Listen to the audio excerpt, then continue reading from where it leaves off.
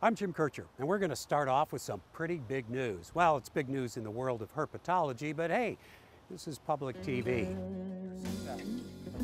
Herpetology, the study of reptiles and amphibians. And well, the amphibian who made the news lives here at the St. Louis Zoo in a recreated Ozark stream environment. A hellbender named Gene is the first hellbender born here and raised in captivity to become a father. So this is kind of a big deal. It is a big deal. A lot- These yes, little guys, they came from the eggs he fertilized and tended to in that stream outside. This was not our first story about the Hellbender breeding program. A few years ago, we came to find out just what they were doing here and why they were doing it. What we came to see at the St. Louis Zoo is not on display. It's actually behind the herpetarium where they keep the snakes and other assorted reptiles and amphibians. And if you come back here on the right day, you might get to meet Irene. Not the woman in the wetsuit, that's Shauna. Irene is the big salamander she has just fished out of its nest. One of our female hellbenders. How old?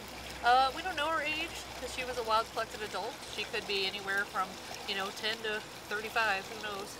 She is one of the hellbenders living and more importantly and amazingly reproducing in what is no mere trough.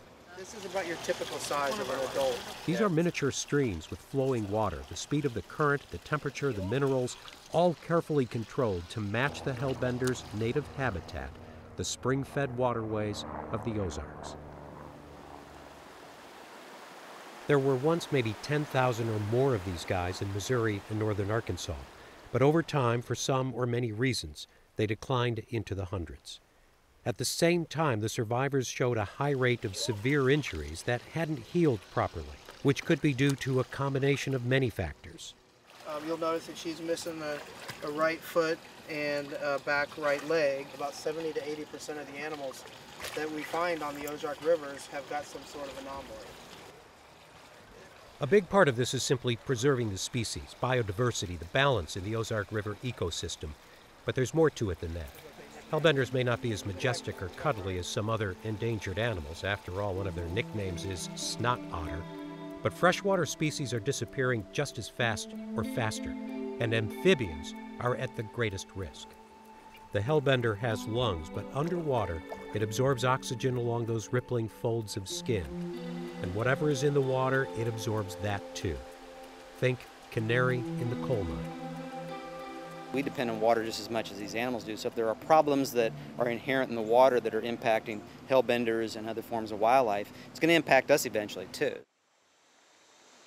So the St. Louis Zoo, the Missouri Department of Conservation, and other partners set out not just to study the hellbender, but to figure out how to breed them in captivity, raise the offspring, and put them back into the streams.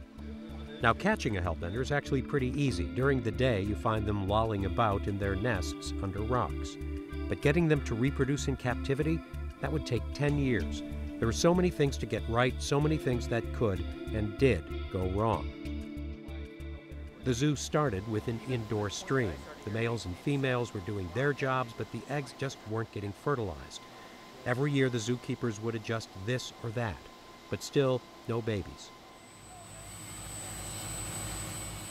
So a few years ago, they tried something else. They thought maybe an outside environment would help, and they built the outdoor streams. Roomier, lidded nesting boxes, half buried, comfortably spaced, mimicking the rock nests of the territorial hellbender. But still no success. So they went back to the water itself, looking at the ion and mineral concentrations, made a minor adjustment, and then waited to see if it would make a difference. It was, I remember the date, it was October 18th, 2011. We opened up one of the nest boxes out back and there was all these fertile eggs. They didn't just hatch 63 baby hellbenders, they made history. It was the first time anybody had bred them in captivity. At this point in 2014, all of the breeding adults had been captured in the wild.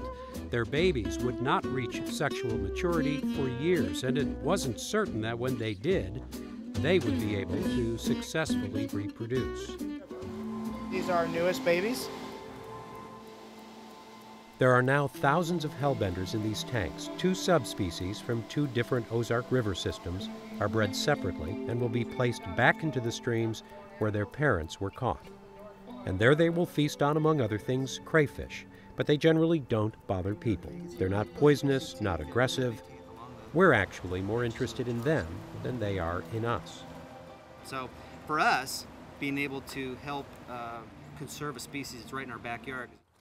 The Hellbender project in Missouri is a success so far, but only up to a point.